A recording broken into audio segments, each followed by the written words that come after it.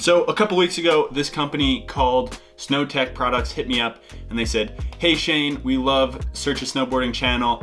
We just came out with a new product and we want you to check it out, test it out, and tell us what you think about it. It's called Venom. It's an edge protector that you put around the outside of your board.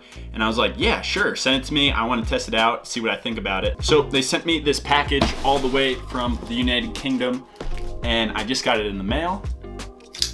Gonna open it up, check out what the Venom Edge Protector looks like, and I've got some fun ideas that I want to try to use to test this thing. There we go, there's one of them. I think they sent two. Oh, we got a pink one.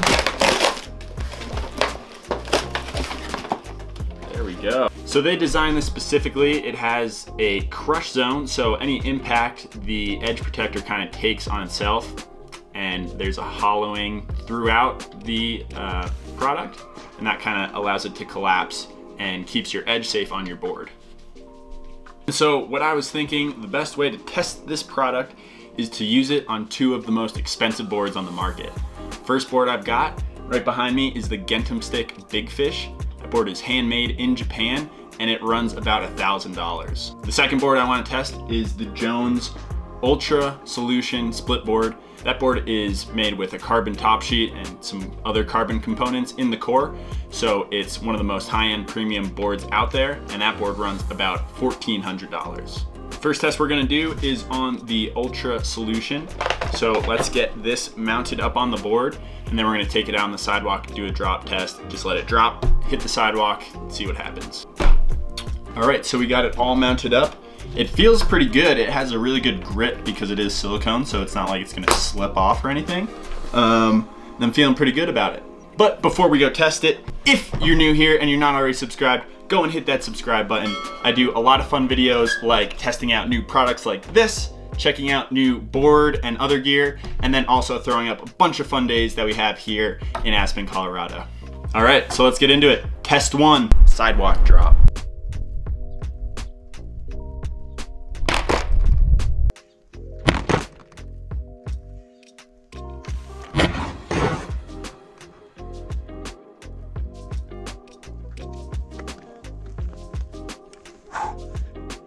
That seemed pretty good. All right, let's see how that edge held up. That's a pretty typical drop if you have your board in a board rack and it just falls off on the sidewalk of the pavement. So I think that was a good test to replicate some everyday circumstances, but let's see what it looks like.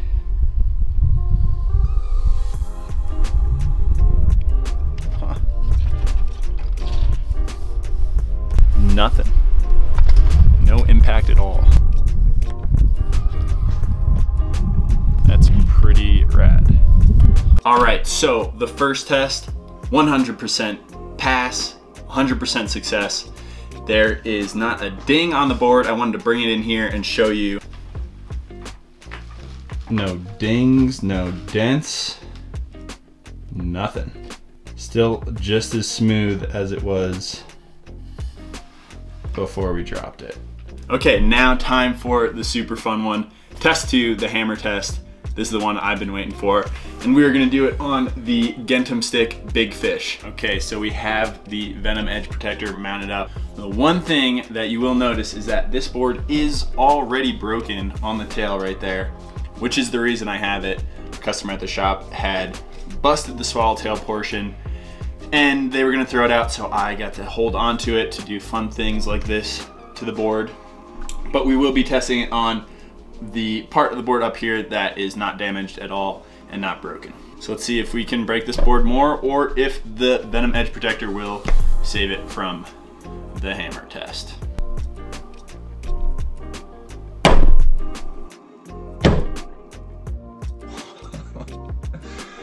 oh, that was a good hit. That was probably a little more force than the sidewalk drop.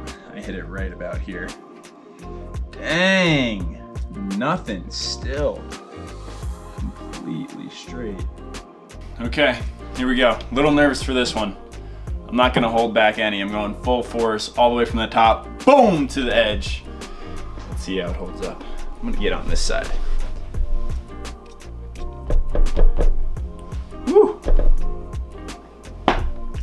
Oh, swing and a miss.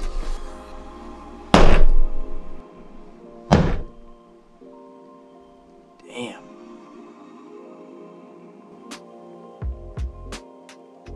Let's see if it held up. Nothing. Again, nothing. I would say the hammer test is a complete pass as well. I put a lot of force with this hammer going into the edge and I think that's a lot more force than you would ever encounter in a board bag, but that kind of just shows how strong this protector is, that it's not gonna get banged up when it gets thrown around in your luggage when you're traveling, and whether it's across the world or from state to state, this thing is gonna save your board. But I do wanna see what the limit of this thing is. I know this might seem like a sacrilege because there's a lot of love that goes into building these boards, but because it is already broken, we might as well see what it's like to hit the edge with a hammer to see the difference if a board will hold up against a hammer by itself without the edge protector. I'm gonna go full blast again, full force on the edge. We go right there. I'm sorry, Gentem. Sorry, big fish.